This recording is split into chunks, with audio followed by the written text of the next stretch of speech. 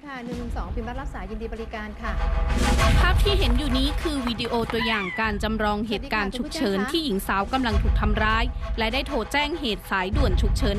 112 ทำให้ได้รับการช่วยเหลือจากเจ้าหน้าที่อย่างทันท่วงที จนรอดจากการถูกทำร้าย และนี่คือสิ่งที่ประชาชนต้องการให้เกิดขึ้น เมื่อมีเหตุฉุกเฉิน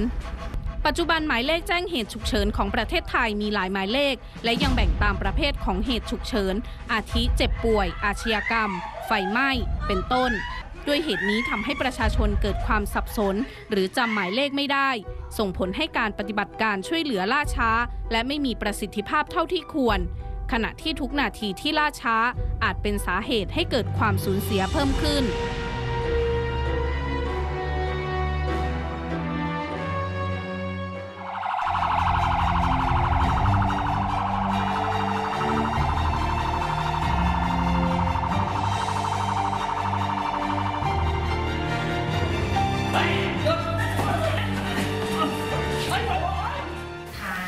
เครือข่ายพลเมืองปฏิรูปสายด่วนฉุกเฉิน 112 จัดงานสัมมนา และสนับสนุนให้เกิดสายด่วนฉุกเฉิน 112 ให้เป็นหมายเลขฉุกเฉินหมายเลขเดียวของประเทศไทย เพื่อให้จดจำง่าย และเกิดการช่วยเหลืออย่างทันท่วงทีเมื่อมีการแจ้งเหตุ พร้อมทั้งลดปัญหาการโทรก่อกวนที่เกิดขึ้นในปัจจุบัน โดยจะรวมทุกการแจ้งเหตุฉุกเฉินไว้ที่หมายเลขนี้หมายเลขเดียวค่ะ ทุกคนได้ประโยชน์ นางสาวบุญยืนสิริธรรมประธานสหพันธ์องค์กรผู้บริโภคกล่าวว่า ต้องการสนับสนุนให้มีสายด่วนฉุกเฉิน 112 ที่โทรแค่เบอร์เดียว แต่สามารถแจ้งเหตุฉุกเฉินได้ทุกเรื่อง และทุกพื้นที่ของประเทศไทย เราคิดว่า 112 เนี่ย มันเป็นทางออก มันมันเป็นเจ้าภาพสายด่วนทั้งหมดที่เราจะสามารถพึ่งพาได้อย่างรวดเร็ว เดิมเนี่ย ถ้าเราโทรไปสายนี้นะพอผิดพอโทรไปอีกสายหนึ่งกว่าจะได้เรื่องได้ราวมันไม่ด่วนแล้วค่ะ ตายไปแล้วอะ มัวแตะโทรเพราะฉะนั้นสายนี้จะมาช่วยอย่างน้อยๆช่วยชีวิตยามฉุกเฉินนะคะ ช่วยให้ตำรวจไปถึงสถานที่เกิดเหตุได้อย่างว่องไว นางปรียนันท์ล้อเสริมวัฒนาตัวแทนเครือข่ายพลเมืองปฏิรูปสายด่วนฉุกเฉิน 112 กล่าวว่า ทางเครือข่ายอยากเร่งรัดให้มีเลขหมายฉุกเฉินเพียงหมายเลขเดียว จึงออกแถลงการเรียกร้องให้มีการปฏิรูปสายด่วนฉุกเฉิน เนื่องจากการช่วยเหลือกรณีฉุกเฉินที่มีประสิทธิภาพ มาจากการรับแจ้งเหตุฉุกเฉินที่ดี เราขับเคลื่อนแน่ๆ เพราะว่าเรามองว่าเรื่องนี้จะจะไม่มีแรงต้านเลย ตอนนี้ปัญหามีอยู่อย่างเดียวก็คือรัฐบาลจะให้ใครทำนะคะ ซึ่งสปชเนี่ยเขาบอกว่าตอนนี้เขามีความพร้อมมากเลยที่จะเป็นหน่วยงานที่ทำคลอด แต่ในอนาคตรัฐบาลจะให้ใครทำเนี่ยรัฐบาลก็ต้องเรียกคู่แคนดิเดตทั้งหลายเนี่ยเออเอามาคัดเลือกอีกทีว่า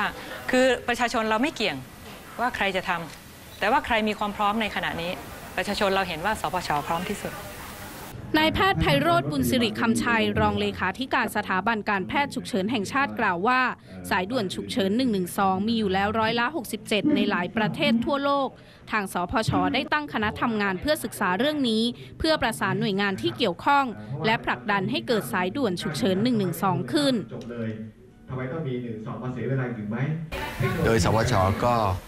แสดงตัวว่าเป็นผู้ประสานนะครับ แล้วก็ยินดีที่จะรับทำให้เกิดขึ้นก่อนนะครับ แล้วก็ถ้าหากว่าต่อไปในอนาคตเนี่ยจะเป็นหน่วยงานที่ถาวรอย่างไรก็ตามเนี่ยนะครับ ก็คงต้องอาศัยความเห็นของทุก ๆ ฝ่ายที่เข้ามาช่วยกัน นะครับและจากข้อมูลการโทรเข้ามาแจ้งเหตุฉุกเฉินเฉพาะของหมายเลข 191 ด้านความปลอดภัยของสำนักงานตำรวจแห่งชาติ มีจำนวน 10,000 สายต่อวัน เป็นสายโทรก่อกวนประมาณ 8,000 สาย ซึ่งหากมีหมายเลขฉุกเฉิน 112 จะช่วยลดปัญหาดังกล่าว เพราะสามารถบอกพิกัดของผู้แจ้งเหตุฉุกเฉินได้ และมีการแสดงข้อมูลส่วนตัวตามทะเบียนราษฎร์ให้เห็นอย่างชัดเจนนำไปสู่ปฏิบัติการช่วยเหลือได้ทันเหตุการณ์ ลดการสูญเสีย ที่สำคัญจะสามารถลดปัญหาสายก่อกวนที่เป็นปัญหาใหญ่ในระบบแจ้งเหตุฉุกเฉิน